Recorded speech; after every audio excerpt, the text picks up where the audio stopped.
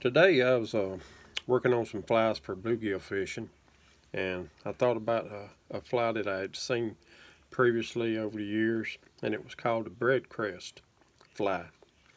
So um, I've changed it up a little bit, um, added a, the bead and a collar to it where it's normally kind of like a um, soft hackle fan back and I've got that on there too.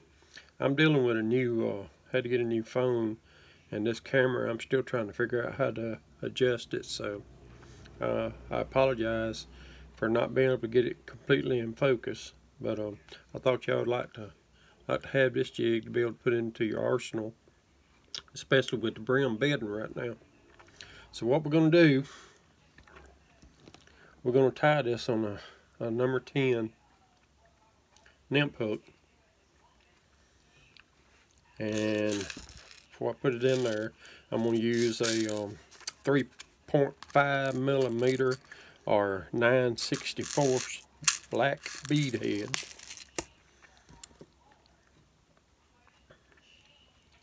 Get that loaded up.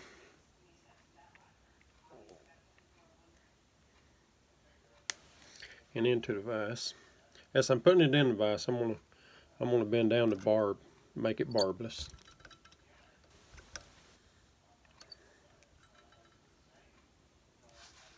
Okay. I'm going to be using a black 140 diameter thread.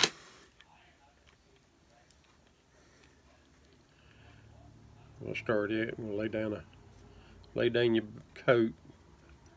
We're going to go a little further back, just about to where the bend starts to come around. Take that off. All right, with this fly, what you're doing is uh, you're taking tail feathers off a grouse and you're splitting it in half. So you end up with two pieces like this. That white stuff in there, you need to get that out if, as much as possible anyway. Um, and what you do, you, you soak this in a, a glass of, or a container with uh, warm water for about I think I soaked mine for about 15 minutes and most of it peeled off. But you'll understand more in just a second when we go to tying this of, uh, of the look that it gives and what we're after. But what you're doing, you're taking your feather and you're, you're cutting most of the barbs off to where you're only leaving about an eighth inch of your actual barbs onto the stem. So what we're going to do, we're going to tie this in. I don't want to use quite that. So we're going to go ahead and tie that on your fly. Alright, then I'm going to get a, some rabbit um, hairs, hair dubbing that it, you know it comes from uh, between the between the eyes or on top of the rabbit's head. And it gives you a lot of uh, rough look fibers once you go to wrapping it.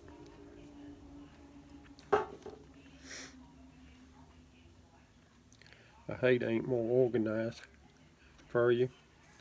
Uh, this kind of just a spur of the moment decision to go ahead and make a video of this because I know some people will really love to have this fly during the brim brim bed. Right, take and wrap that, make you a pretty good body on it. Come right on back up against that ball.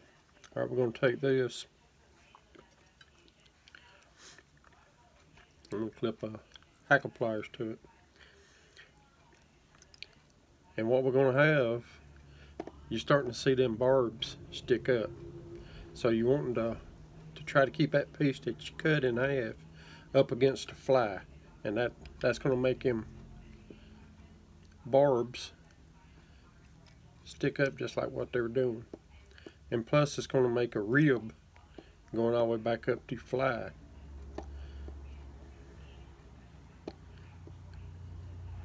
Carry that all the way to the to the ball, tie it off.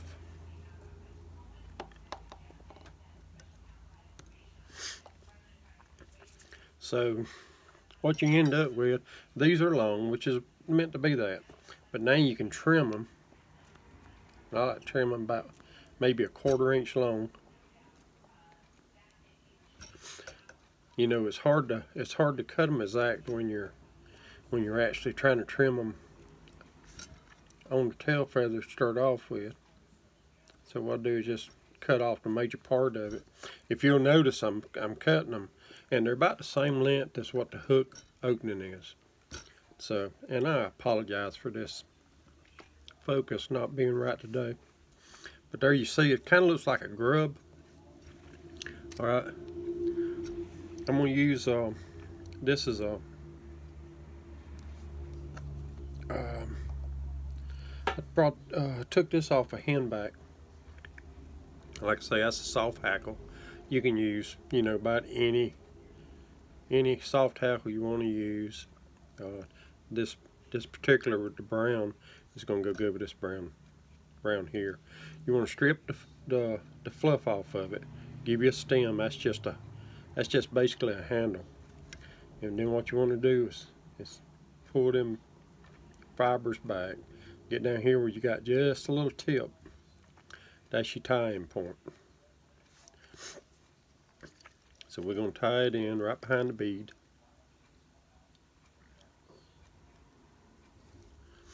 Then you can clip that little little last piece off.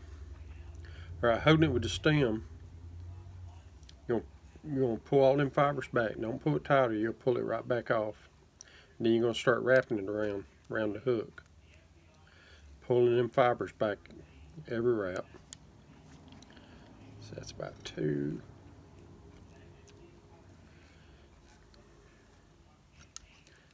Three. A lot of people just only put one or two wraps. But with this being especially for the brim, I want as much uh, action off of this soft hackle as I can get. Alright, so once you get it all wrapped, just kind of pull them fibers backwards and then finish it off right behind that bead head where the where the soft hackles are going backwards. Alright, this time this is the difference that I like to do. I'm going to use a uh, saddle hackle and it's it's for probably about a 14 to 15 size fly so it's just going to give you a little bit of collar as we tie it in and wrap it right behind that bead and what this does this kind of adds just a little bit more to it to where we'd use that thread to push the soft hackle backwards. So we're just going to wrap out how many every times you want to.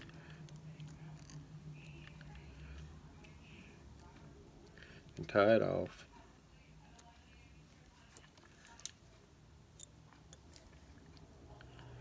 Give you a couple whips on it.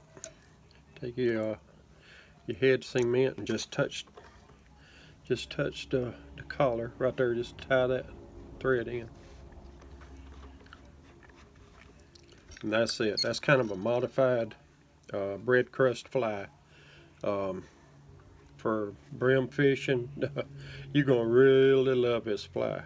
It gives you a lot of movement in the water and you can see it's kind of like a bug spider kind of a mix especially on river fishing of what what's falling from the trees into the water. And uh, the bluegill is going to eat that fly up for you. Um, that's size 10 um, I hope you uh, have a chance to tie this. Um, if you don't have a grouse you can use about any tail feather. But you know, whether you're staying brown or whatever, try to keep it kind of matching. But, guys, I hope y'all have good luck with this one, and uh, thanks for watching.